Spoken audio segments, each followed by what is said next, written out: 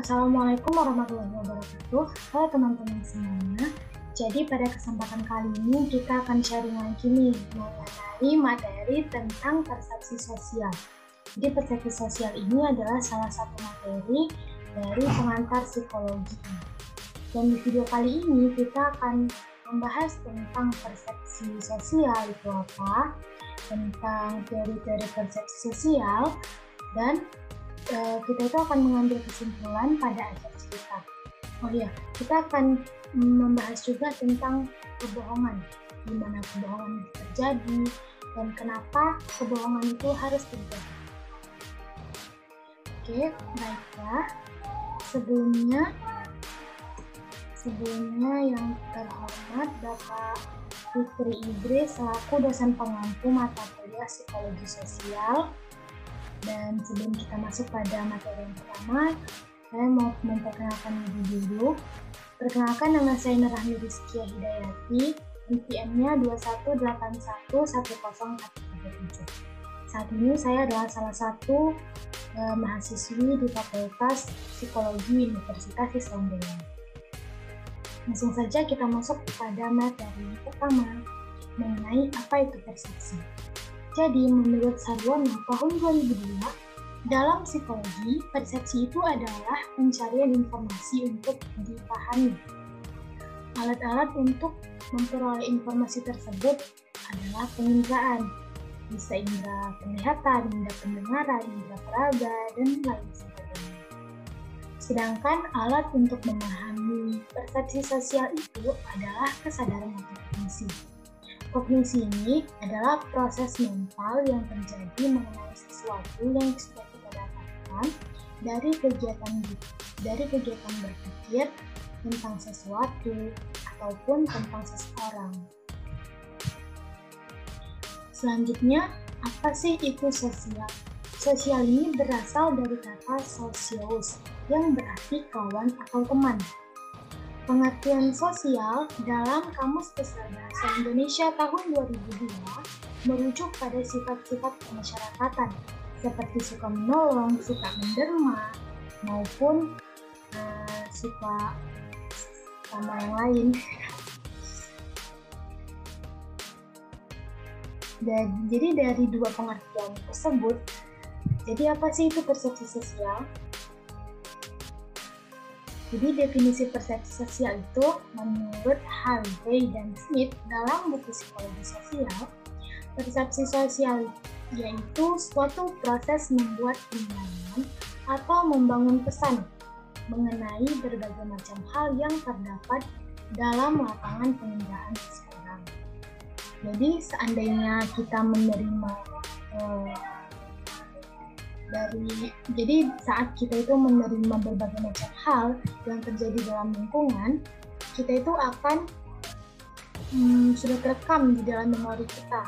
Kemudian kita itu dapat mengolahnya dan menjadikannya objek. Nah, objek ini bisa mempengaruhi hasil akhirnya. Jadi gimana sih kita membangun kesan itu diperoleh dari kita itu uh, rekaman-rekaman yang sudah kita peroleh dari Selanjutnya itu adalah faktor yang mempengaruhi persepsi sosial. Robin mengungkapkan bahwa terdapat beberapa faktor utama yang memberi pengaruh terhadap pembentukan persepsi sosial. Yang pertama itu adalah faktor penerima, yang kedua ada faktor situasi, dan yang ketiga ada faktor objek jadi yang pertama itu adalah faktor penerima. Jadi faktor penerima di sini sangat uh, membentuk karakteristik kepribadian seseorang. Kalau misalnya uh, dia itu memiliki konsep diri yang tinggi, maka dalam melihat orang lain dia itu lebih cenderung pada sudut, sudut pandang yang positif. Sedangkan masa lalunya juga dapat membentuk persepsi seseorang. Yang kedua, ada faktor situasi. Faktor situasi di sini uh, bisa secara alamiah itu seseorang akan lebih memusatkan perhatian pada objek-objek yang lebih dia sukai dibandingkan objek yang tidak disukai. Kalau misalnya orang-orang itu lebih mengandalkan seleksi informasi keberadaan pada suatu objek fisik maupun objek sosial. Yang ketiga ada faktor objek sasaran. Jadi objek sasaran di sini contohnya itu eh, kemungkinan untuk memberi pengaruh yang menentukan terhadap pembentukan persepsi sosial. Ciri pertamanya dapat menimbulkan kesan dan target adalah sebuah keunikan.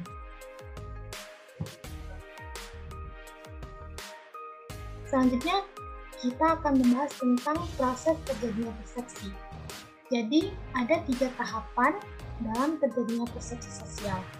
Yang pertama itu ketika kita itu mendapatkan pengenalan tanda-tanda non-verbal. Jadi, pengenalan tanda non-verbal ini akan ditampilkan oleh orang lain Tanda-tanda nonverbal ini merupakan informasi yang dijadikan bahan untuk mengenali dan mengerti orang lain secara lebih jauh.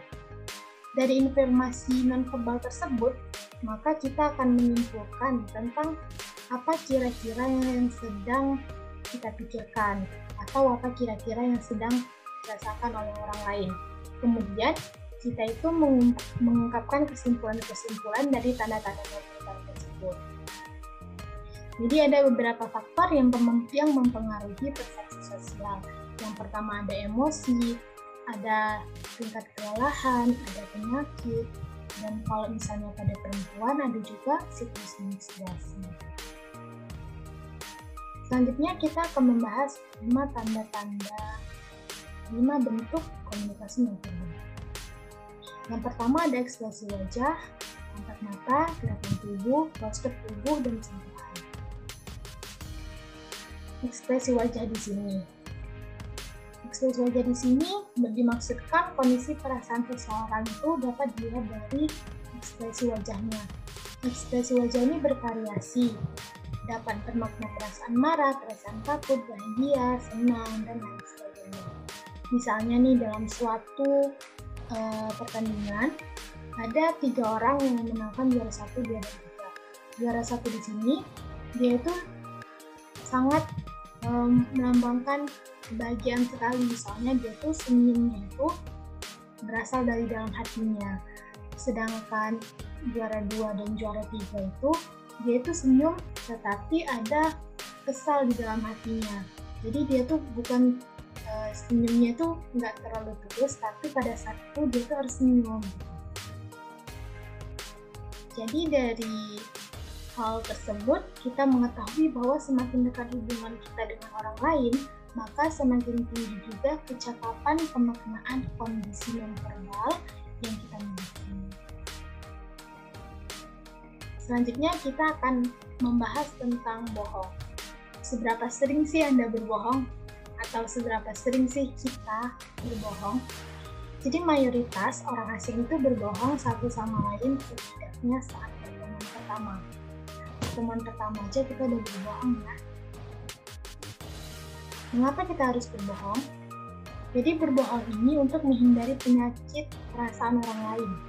Misalnya orang lain itu e, melihat kita ini sombong, ya kan? Berarti kita tuh harus e, menghindari penyakit tersebut dengan e, mungkin kalau misalnya kita nggak biasa berinteraksi dengan orang lain, kita harus berinteraksi sama orang lain. Dan itu adalah suatu kebohongan kita tidak terbiasa tapi kita harus melaksanakannya dan untuk menyembunyikan perasaan dan reaksi sebenarnya. Ada juga kita itu berbohong karena kita itu eh, takut disalahkan takut mendapat hukuman maka kita itu berbohong. Nah dari gambar di sini kita akan mempelajari gerakan-gerakan pertama sih yang dapat uh, kita lihat sebagai sebuah kebohongan ataupun uh, sebagai sebuah pengingat pada diri tiap orang. Jadi kalau misalnya mata kiri itu, kalau misalnya dia lihat ke kiri atas, berarti dia itu sedang mengarang cerita atau dia sedang berbohong. Kalau misalnya ke kiri saja, itu berarti dia itu sedang mengarang suara. Kalau misalnya ke kanan bawah, ke kiri bawah, itu berarti dia itu sedang berbicara tentang perasaan dia sebenarnya. Kalau misalnya matanya itu ke kanan, ke kanan atas, berarti dia itu sedang mengingat gambar. Kalau misalnya matanya itu ke kanan saja, berarti dia itu sedang mengingat suara. Dan kalau misalnya matanya itu mengarah ke kanan bawah, berarti dia itu sedang berbicara Nah, jadi kalau misalnya yang sedang nonton video ini, jadi kalian tuh udah harus tahu nih, kalau misalnya e, orang ini berbohong berarti matanya ke mana. Selanjutnya kita akan membahas tentang atribusi. Atribusi ini adalah proses di mana individu menjalankan penyebab dan sebagai kejadian dari perilaku orang lain atau bagaimana seseorang itu membuat keputusan dengan Teori atribusi di sini ada dua. Yang pertama, teori inferensi koresponden Jones dan David dan teori Kelly. Teori inferensi koresponden Jones dan David ini menyatakan bahwa orang memberikan perhatian khusus pada perilaku yang disengaja teori tersebut memberikan bantuan untuk memahami proses terjadinya atribusi internal. Contohnya itu ketika kita memiliki seseorang yang ramah, maka kita jadi ikutan ramah. Kita lebih suka membuat atribusi walaupun perilaku dalam situasi tertentu tidak menjamin simpulan yang dihasilkan.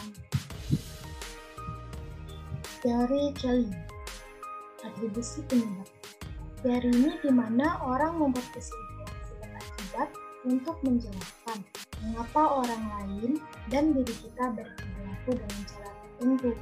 Hal ini berkaitan dengan persepsi sosial dan persepsi Selanjutnya ada impresi formasi. Menurut KBBI tahun 2006, impresi itu adalah pesan dan informasi itu adalah susunan maka impresi informasi dapat diartikan sebagai pemberian makna atau bentukan kesan seseorang terhadap orang lain secara tepat dan tersusun.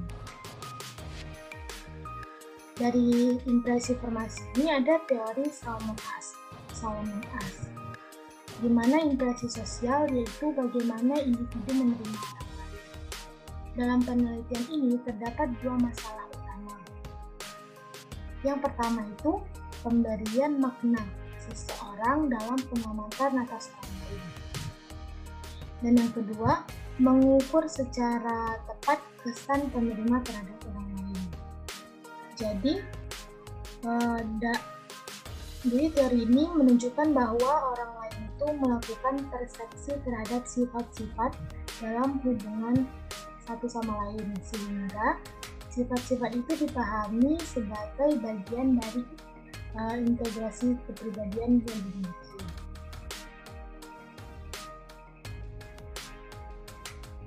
Penelitian Salomon As memberi kesan dari orang lain.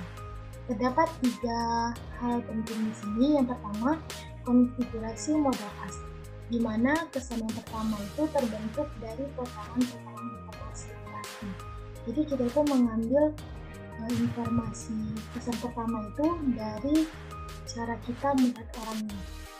Jadi informasi ini pasti loh jadi orangnya kayak gini yang kedua itu ada sifat sentral sifat yang dimiliki mempengaruh yang tidak proporsional pada akhir pada pesan akhir. Jadi bisa aja kalau misalnya pada pesan pertama itu kita melihat orang baik itu kalau misalnya udah terakhir kok kita melihat orang ini uh, agak sombong ya. Jadi sifat sentral itu kayak gitu. Dan sifat uh, varian variabel di sini dimaksudkan memiliki pengaruh signifikan pada pembentukan pesan dalam as konfigurasi. Selanjutnya itu manajemen kesan. Manajemen kesan di sini adalah usaha seseorang untuk menampilkan kesan pertama yang disukai orang lain. Di sini ada dua manajemen kesan. Yang pertama, self-enhancement, di mana upaya untuk menambah daya tarik diri terhadap orang lain. Dan yang kedua ada other enhancement, di mana upaya untuk membuat orang lain itu yang dituju itu merasa nyaman dalam berbagi cara.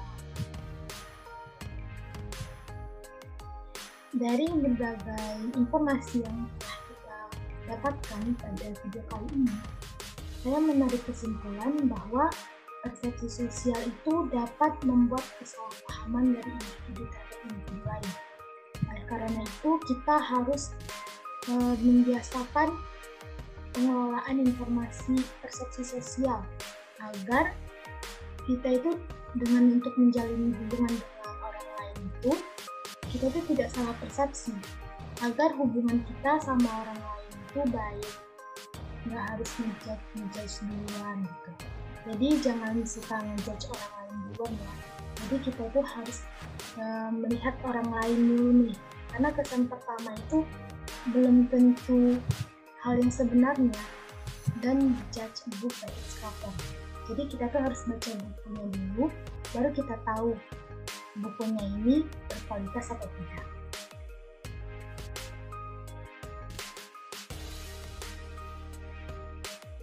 Sekian video kali ini. Lebih kurang saya mohon maaf untuk yang melihat video ini boleh tinggalin like sama komen dan subscribe nya di bawah